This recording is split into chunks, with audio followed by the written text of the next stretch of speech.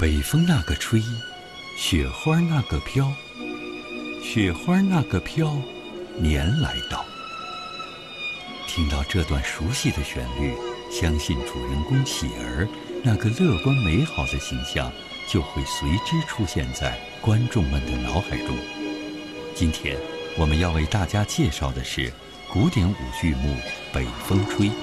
作品由著名编导范东凯编创。著名舞蹈家山冲、卢刚首演。这是范东凯老师啊，给我跟我的舞伴卢刚，我们编了这么一个，就是也是当时为了参加桃李杯，然后也觉得我们两个很适合这两个人物，就是喜儿和大春，嗯。然后呢，对白毛女其实很小的时候就知道有芭蕾舞剧《白毛女》啊，啊有歌剧《白毛女》啊，都都会，比如说都知道，呃，对这个其实对这个人物也是很向往的。呃，我第一次跳呃《北风吹》的时候，是我在北京舞蹈学院就读附中，呃。六年级毕业的时候，那是我第一次来跳这个作品，然后并且在毕业汇报的晚会当中演出这个作品。小的时候在跳这个作品呢，从情感上是非常的投入，因为我们在附中的时候，老师们他会把这样的经典剧目，就是一代一代北舞人。都会去跳，都会去诠释的这样剧目，特别细心的教给我们，然后并且把这中间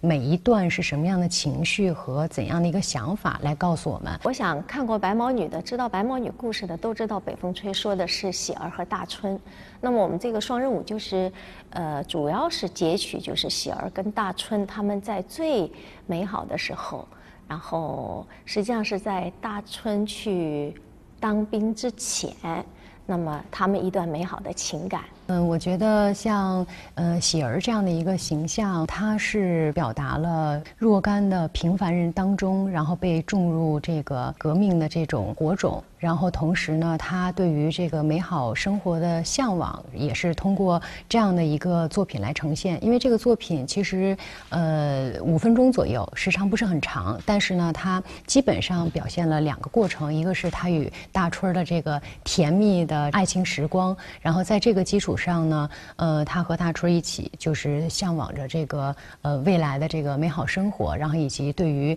革命胜利的这样的一种憧憬。呃，我觉得在呃《北风吹》这个剧目里边，其实它表现了你刚刚说到的革命的浪漫主义也好，包括呃在那个年代的年轻人对这种美好生活的向往也好。我觉得就是说，呃，在我表演的时候，实际上要把喜儿对那种。呃，革命胜利以后，或者说对现在这个旧社会的一种呃，除了控诉，他可能更多的是对新的社会的一种美好的向往和追求。作为演员来说，他可能他的那种情绪上，他的表现形式上，包括他所有的动作，呃，他是从古典舞里面呃画出来的一个有点是刚代舞那样一种表现形式。我认为可能这种表现形式更适合于表现红色经典题材的剧目。那除了肢体语言的这个塑造之外，我觉得特别重要的就是一种内心的对于美好生活向往的这样的一个渴求。我觉得这个作品当中是。嗯，有这样的一个表达，能感受到这个作品带给我的那种炙热。嗯，建党九十周年的时候，我们我和王子涵又嗯再一次这个复排跳了这个作品。我觉得那个时刻呢，我是可以感受到这个作品本身带给我们的更深刻的一种生命的意义吧。此后，《北风吹》由一代代北舞人演绎着，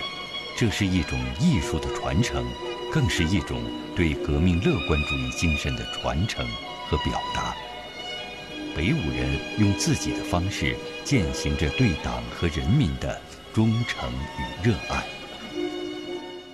首先，作为一个舞蹈学院毕业的学子，呃，我觉得我很有幸能够在舞蹈学院学习。在这个百年之际，咱们舞蹈学院的宗旨是爱国、爱校、爱舞蹈。那么，我觉得这三个爱其实包含了特别高度的统一和我们就是说精神上和思想上，包括我们呃专业上的一种高度。我们也很有幸在建党百年，我还在舞台上啊，所以我觉得就是说，在这样的时机下，我们。舞蹈人更应该发愤图强也好，好好努力也好，其实为国家、为我们学校，其实为为整个社会能够多尽一点自己的责任。我们也希望，呃，在这样的一个呃氛围下，可以更多的带来呃好的舞蹈作品，呃，为人民起舞，可以让更多的人们去透过我们的作品去感受到对于美好生活的一种向往，然后对于祖国的一种歌颂，对于